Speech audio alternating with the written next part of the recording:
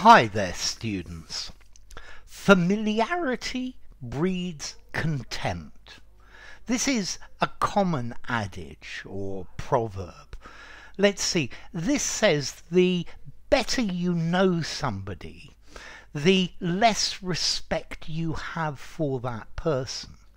Or you can also use this phrase in a situation that in a situation that you know very well, you can become careless. If you repeat something, you do something that, that you know very well, you can become careless while doing it.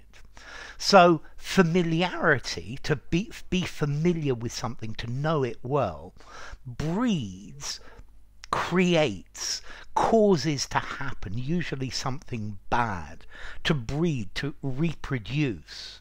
So familiarity um, causes and then contempt. Uh, contempt is a strong feeling of dislike, to have no respect for someone or something. So, um, he uh, uh, treated me with contempt. Yeah, he treated me very badly and in, in an un unpleasant way. Okay, so familiarity breeds contempt. If you know someone very well, then um, it, it doesn't lead to a, a good relationship. Yeah, um, if you know, you stop respecting people when you start to know their faults. Um, I think generally um, you are uh, find more interesting, more enigmatic people that uh, you don't know. But as you become more aware of their faults, then you become more scornful. Yeah. So. Um, let's see. Uh, what does it say? Something. So yeah, fish and house guests stink after three days. Yeah, so it's nice to have a friend, uh, a friend to come and stay. But if they stay too long, familiarity breeds contempt. Yeah, or I think this is also very similar to this. Um, proverb from I think probably from the, the, Bible a prophet has no honor in his own country. Yeah so um, somebody that you you know very well you find very di very difficult to um, see their good qualities. But notice you can also use this for a situation or for an action something that you do the whole time. It can result in you doing it carelessly. Um, for example, I know the statistic that says that most car accidents occur within a couple of miles of your house.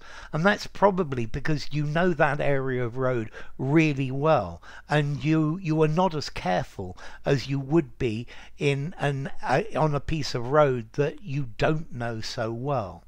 Yeah, so this this um, familiarity breeds contempt.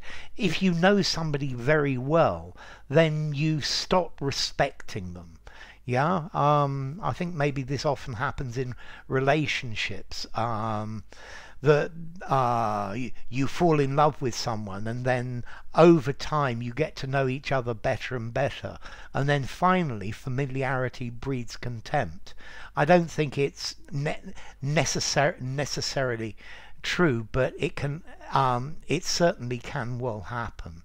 Um, yeah, I, I, guess the idea is that you can uh, see their bad uh, qualities uh, more and more, and you find it harder and harder to see the good qualities in them. Yeah, so familiarity breeds contempt. Um, as to formality, I'm going to give it a 6 in formality. Use it absolutely anywhere. Okay, so, well, I, I, it's probably a thing in life. I think too much exposure to something means that you uh, don't like it or that you, you're not impressed by it.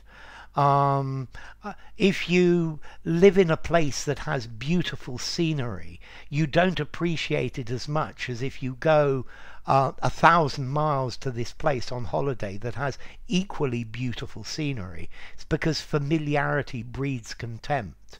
or maybe there are some wonderful quality local products but well you don't think they're very good because you've seen them all your life but if somebody looks at them from the outside they look absolutely fantastic so enough. If you enjoyed the video give it a rating subscribe to my channel and i'll see you soon.